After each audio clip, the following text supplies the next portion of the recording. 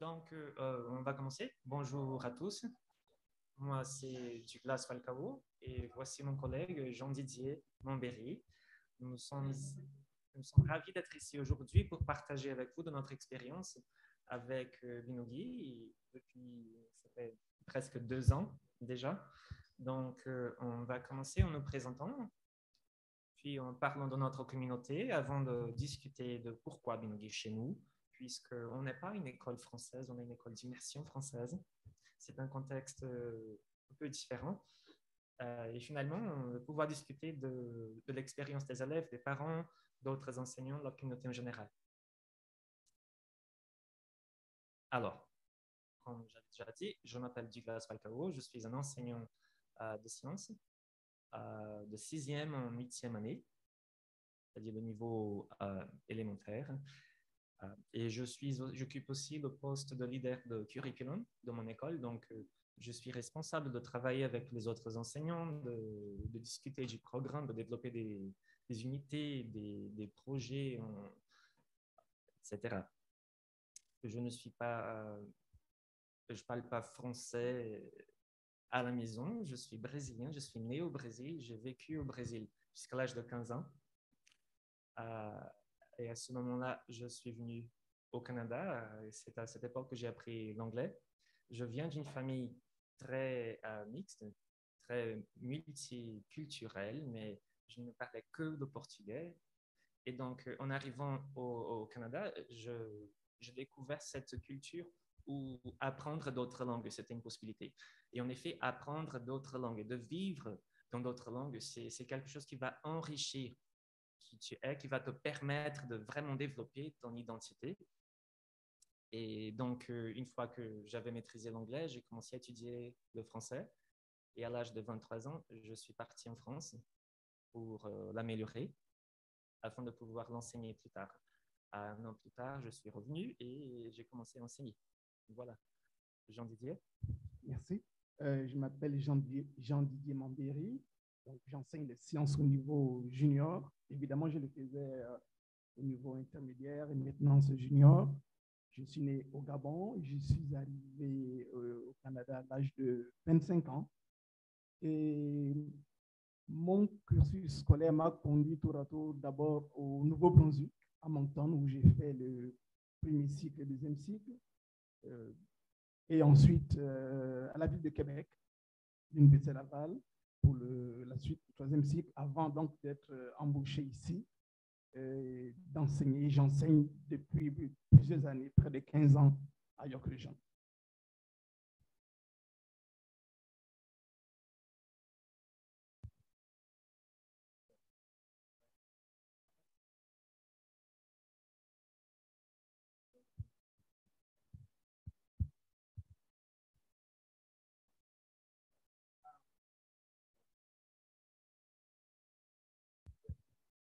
Est-ce que vous m'entendez. Voilà. Euh, notre école, euh, elle possède des cours, euh, des classes de troisième en huitième année. C'est une école d'immersion française, comme je disais avant. Par contre, la population de l'école est très multilingue aussi. Parmi d'autres langues, on a l'anglais, le russe, le mandarin, le cantonais, l'hébreu. Il y a plusieurs élèves qui, sont de familles juives mais qui sont aussi russes. Et donc, pour ce projet, nous avons engagé quatre classes de huitième année, quatre classes de septième année et cinq classes de sixième année. Et nous avons alors à peu près 350 élèves dans cette école.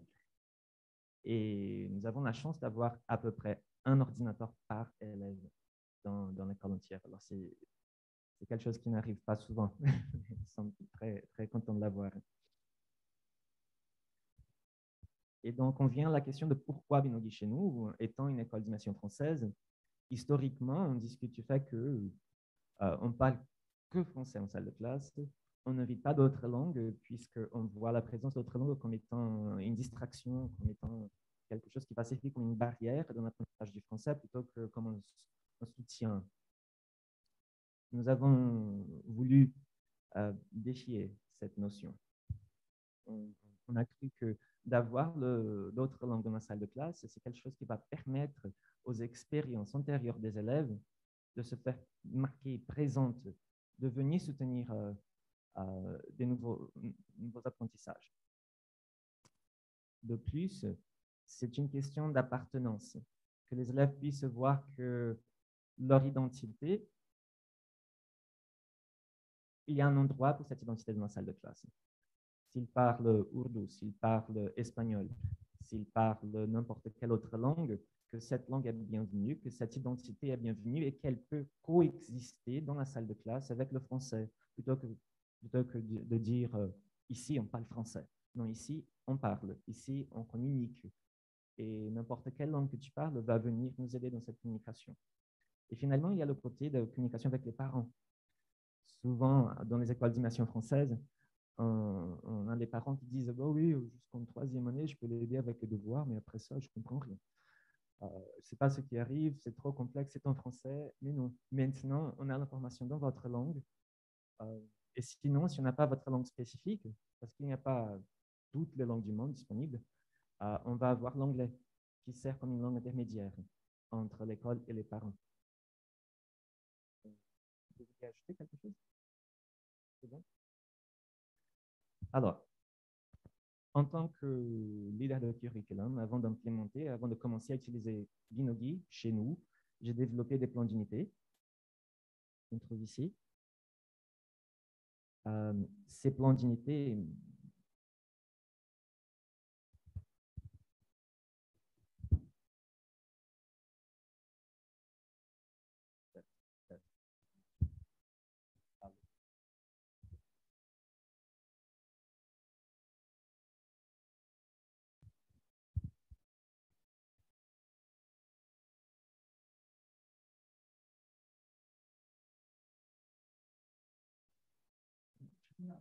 Essaye ça. ça.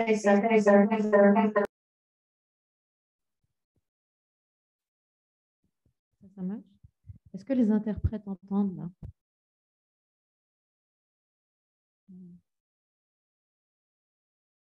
Est-ce que vous entendez? Difficile Oui, nous vous entendons mieux avec ce micro. C'était catastrophique avant. D'accord.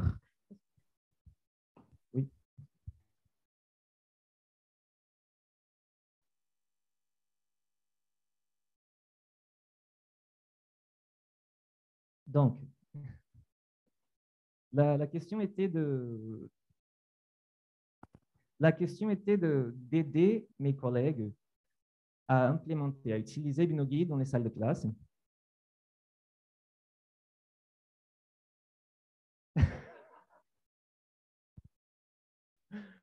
Alors, nous avons des séries de plans d'unité qui ont été créés qui identifient quelles sont les attentes de chaque unité de sixième en huitième année, et ça fait 12 plans d'unité en total. Oui, c'était une pause d'hiver euh, super amusante. Euh,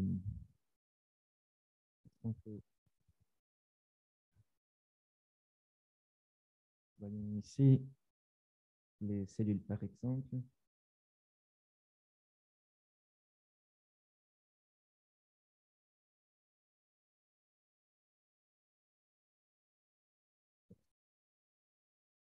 Il y a les attentes bien organisées, puis des leçons qui sont suggérées, où ça dit quelle est l'attente spécifique, des activités suggérées, ainsi que Binogi, quelles sont les vidéos qui sont disponibles pour cette, cette attente, ainsi que d'autres euh, d'autres articles qu'on pourrait trouver, d'autres soutiens qu'on pourrait trouver dans le site web de euh, projet Escape. Ayant ces documents, ces 12 documents. Je les ai passés à mes collègues et je passe la parole de retour à Jean Didier pour qu'il puisse expliquer comment il les a utilisés, comment il a utilisé Binogi dans ses, salles de classe. Merci. Euh, l'utilisation de Binogi dans la salle de classe euh, a été euh, multiforme. Multiforme dans le sens que elle variait beaucoup en fonction donc, du cours de la leçon que je donnais. Euh, elle pouvait donc prendre la forme d'une mise en train, donc avant la leçon, compte tenu que les vidéos sont très motivantes. euh, donne l'élément qui amène les élèves parfois à faire même la demande au début du cours, monsieur, est-ce qu'on peut aller voir Alors, ce qui fait que pour certaines leçons, euh, je pouvais commencer après une brève introduction à présenter aux, élèves euh, une petite vidéo, si je prends le cas de, euh, de, l'électricité, lorsqu'il fallait enseigner les composantes de circuit électrique. Euh, Binogi présente une vidéo, vidéo courte de 3-4 minutes qui donne tous les éléments avec des images exactes qui permettent à l'élève de mieux comprendre. Donc, je peux commencer avec cet élément qui est motivant, euh, donc avant, et à ce moment, je peux donc introduire la découverte du fait scientifique. Du fait scientifique, donc on découvre ce que l'objet même de la leçon. Donc vous voyez très bien que pour une leçon, on peut présenter Binogi. Pardon de vous interrompre, mais vous êtes trop près du micro et nous avons beaucoup d'explosions. Merci. Est-ce que là, on m'attend maintenant? Là, on attend C'est mieux. Si vous avez un technicien, on aimerait avoir plus de volume. Nous avons vraiment du mal à vous entendre. Le volume, volume pardon, est très faible. OK. Alors, si je me rapproche, est-ce que c'est correct ici? Ça va comme ça? Non, malheureusement, si vous vous rapprochez trop, nous entendons des... Alors, euh, si je descends par ici, ça va comme ça? Là, c'est mieux. Merci. Ah, je m'excuse, OK, parce qu'il fallait qu'on s'ajuste. On n'est pas habitué à les utiliser régulièrement, en fait, tous les jours. Alors, je disais tout à l'heure que euh, l'utilisation multiforme, on pouvait le faire avant, pendant et même après la leçon. Alors, euh, pour le pendant, euh, comme ce qu'on a la présentation donc de, de l'approche, elle est très intéressante, motivante. On a tous les éléments, donc la vidéo est là, donc de temps à autre, euh, j'introduis le cours et je présente la vidéo ensuite. Et les élèves ont le choix donc de la langue ou alors il y en a qui, pour rejoindre tous les styles d'apprentissage, il y en a qui parfois écoutent, il y en a qui vont même lire le texte. Donc, déjà, euh, on va chercher le style d'apprentissage, c'est un élément très intéressant. Et ensuite, euh, je peux, j'utilise, le collègue aussi utilise euh, d'une autre façon. On peut aussi l'utiliser après, après le cours, donc pour la consolidation de la matière. La matière. évidemment, comme on le disait par rapport à la présentation, les enfants le font après celui qui a fini le travail peut l'utiliser euh, de temps à autre après le cours. Je peux même demander aux enfants d'aller visionner la vidéo à la maison et de faire puis Je peux le faire après le cours ou, euh, ou, un, devoir pour, euh, comment dire encore, consolider et approfondir les apprentissages. Et avec le temps, j'ai compris aussi une chose que je pouvais Lorsque je, planifiais faire un cours, je faisais la pédagogie inversée. Donc, demander aux enfants, aux élèves, de suivre la vidéo avant et le lendemain, on pouvait donc en discuter en classe. Et ça consolidait la compréhension, ça approfondit la compréhension donc des, élèves. Alors, l'utilisation donc des vidéos et, au-delà des vidéos, nous avons donc les quiz que les élèves faisaient. Et j'ai même constaté que certains élèves euh, prenaient l'initiative de, me devancer. Ils allaient commencer à suivre les vidéos avant et j'ai dû limiter. Là, j'ai dit non. Euh, il faut attendre que je vous indique quoi faire. Alors, j'enseigne les sciences, j'enseigne pas les mathématiques, mais j'ai vu certains élèves en sciences qui sont allés utiliser Binogi pour les mathématiques. Alors, euh, c'est pour dire que la ressource est très motivante. Elle est très motivante. Euh, lorsque je donne un travail sur biologie, la classe est silencieuse et je peux me permettre de faire autre chose. Alors, cependant, excuse. Alors, donc, ce sont là les différentes manières dont j'ai essayé de euh, utiliser dans ma classe et ça fonctionne très bien. Alors, évidemment, euh, par rapport au curriculum, parce que l'Ontario, le, ministère de l'Éducation a mis en place un nouveau curriculum en, septembre, ce qui fait que toutes les notions n'apparaissent pas dans Binogi. Donc, on est obligé de faire des choix de temps à autre par rapport à ce qu'il faut enseigner ou pas. Mais l'idéal serait qu'il y ait tous les éléments qui couvrent le, euh, curriculum. Le curriculum. Alors, donc, c'est ça. Euh, alors, euh, le, le, retour des parents, je ne l'ai pas vu. Notre communauté, lorsqu'il y a un petit problème, aussitôt les parents réagissent. Mais lorsqu'on voit le calme total, c'est que j'ai comme l'impression qu'il y a une forme de satisfaction des parents en ce qui a trait à l'utilisation de Binogi. Alors, il faut dire que nous, on a dû envoyer des permissions d'utilisation au départ parce que le board ne donnait pas le, la possibilité de le faire de façon spontanée. Donc, les parents ont dû signer pour avoir accès et depuis qu'ils ont accès, tout se passe très bien. Donc, ça, par rapport donc, à l'utilisation. Donc, on utilise les plans de cours euh, dans la, progression d'une leçon. Donc, on peut le faire avant, pendant et même après. Donc, c'est cette manière. C'est ça. Donc, pour réitérer, euh, on peut euh, utiliser Binogi avant d'enseigner une leçon donnée, de façon que ça, ça va présenter le thème de discussion. Les élèves arrivent en salle de classe déjà avec des connaissances antérieures qui sont à peu près les mêmes. Quand ils arrivent déjà avec des, mots de vocabulaire, euh, lorsqu'on parle de science, il y a beaucoup de nouveaux mots à apprendre. C'est génial de les voir qui arrivent déjà avec des mots scientifiques sur la pointe de la langue. On peut l'utiliser après avoir enseigné une leçon, de façon que ça devient une révision, euh, ou même une façon de tester ce qu'ils ont compris, puisqu'il y a les quiz disponibles la plupart du temps. Euh, moi, personnellement, je l'ai utilisé comme ressource de recherche.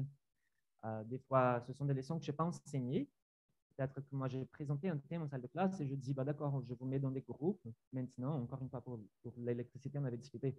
Euh, S'ils recherchent les sources d'électricité, il y a plusieurs vidéos qui parlent de, des différentes sources, que ce soit éolienne, euh, que ce soit marée motrice, que ce soit renouvelable ou non renouvelable.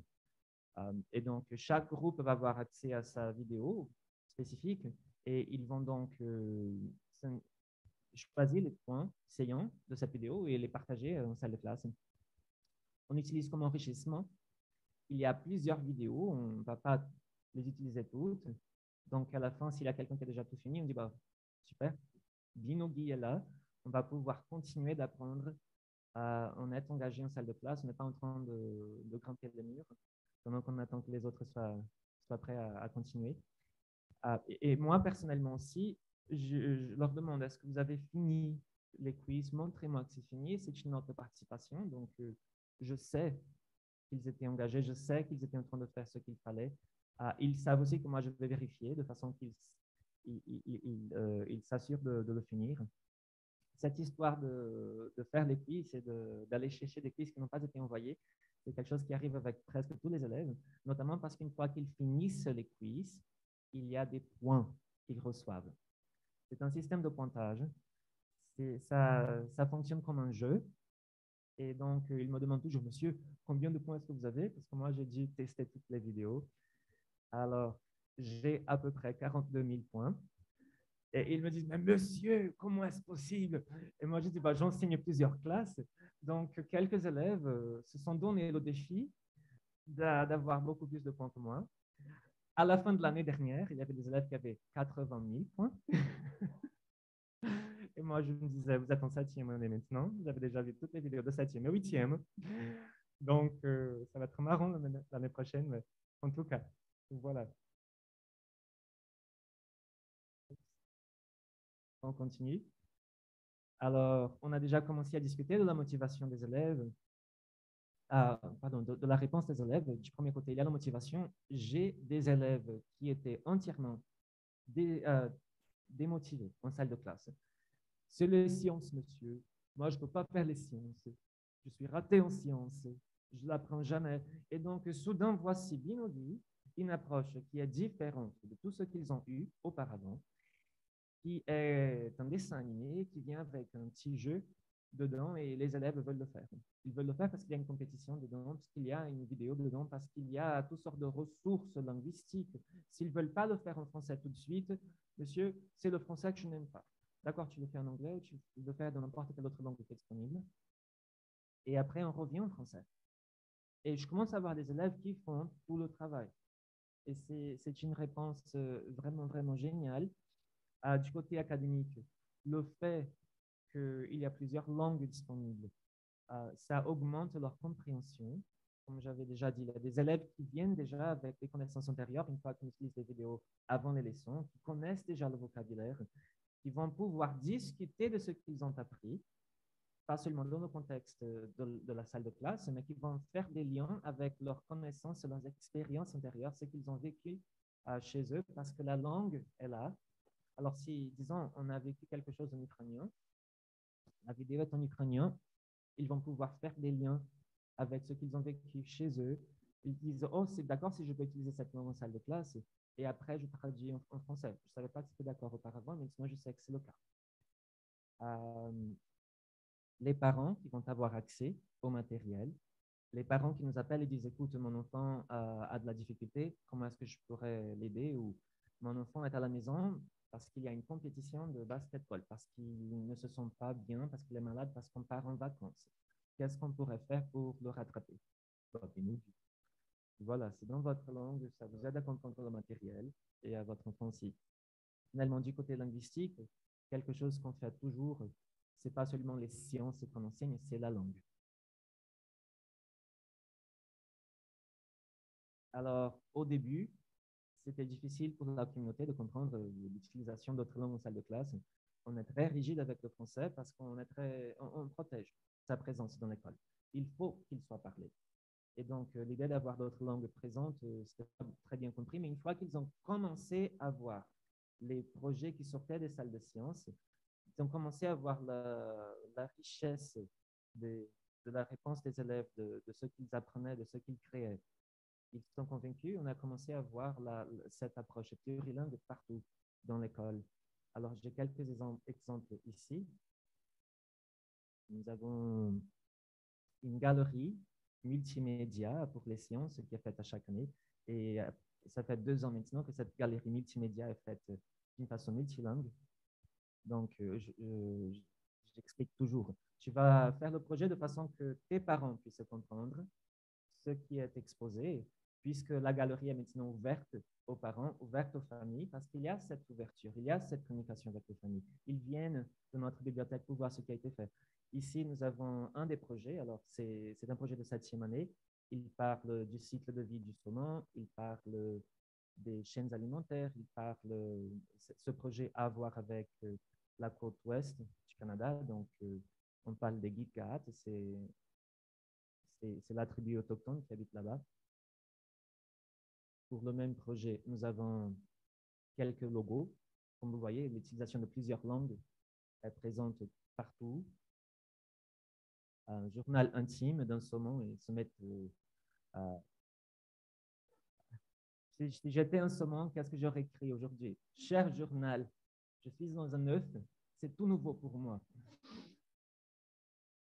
Donc, la créativité est toujours là et le fait qu'ils peuvent l'écrire dans n'importe quelle langue, ça, leur donne encore plus de liberté.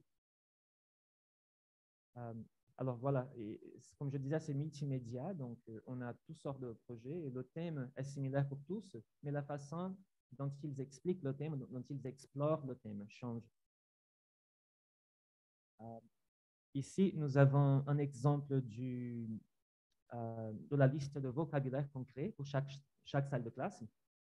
Nous avons commencé en utilisant la ressource détective de mots qui est disponible sur euh, euh, Escape Project, c'est ça? Par contre, ce que, ce que moi personnellement j'ai trouvé, c'est que avec cette liste, c'était écrit individuellement par chaque élève et donc, euh, la diversité que chacun apportait en salle de classe était vraiment coincée sur cette fiche. Alors, j'ai dit, on va le mettre en ligne. De cette façon, tout le monde peut avoir accès à toutes les langues, à toutes les connaissances. Et s'il y a un mot que quelqu'un mentionne, tout le monde va voir le mot, le nouveau mot. de cette façon, on a, créé cette liste qui change pour chaque classe. Chaque classe va avoir un- une quantité différente de langues qui représentent les élèves qui sont en salle de classe. Et on a tout l'espace dont on a besoin parce que s'il faut écrire davantage, on a l'espace parce que c'est en ligne, c'est pas figé, c'est pas sur le papier. Euh, voici quelques exemples d'autres euh, projets. Euh, ceci est un mural pour la Journée internationale des, de- des femmes qui a été faite par notre GSA. Chaque, message est dans un- une langue spécifique, la langue de, l'élève. Le GSA a été très engagé dans des projets multilingues. On a créé des slam poetry pour la journée, la journée du souvenir, le jour du souvenir. Nous avons créé notre, logo même, est en plusieurs langues. Euh, voilà. Il y a une dernière photo ici. Ah, euh, ceci sont des exemples de travaux qu'on a créés pour euh, la journée des franco-ontariens à la fin, à septembre. On a engagé les élèves dans une discussion de- d'identité franco-ontarienne. Qu'est-ce que ça veut dire? Parce qu'ils sont dans une école d'immersion française depuis la première année. Ça fait huit ans d'immersion française. Il y a une identité francophone qui, se développe chez eux. Mais il faut discuter de ce que ça veut dire d'être francophone en contexte, euh, dans le contexte individuel de chacun. Quelqu'un qui, par exemple, euh, est juif, mais qui vient de la Russie, qui parle plusieurs langues, qui parle l'anglais dans la cour de l'école, qui parle français dans les salles de classe, qui parle euh, juif à la synagogue, qui parle euh, russe à la maison. Euh, comment est-ce que cette euh, identité franco-ontarienne, elle, a l'air de quoi? Alors, on a créé chacun des, collages, chaque classe.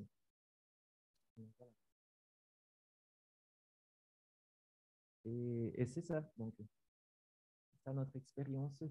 Merci de votre temps.